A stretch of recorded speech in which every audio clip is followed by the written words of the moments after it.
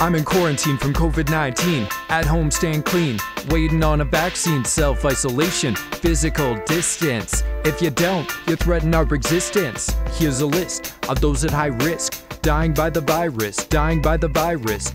All we got heart disease, lung disease, hypertension, diabetes. Give me your attention. Cerebral palsy, cancer. Follow me, follow.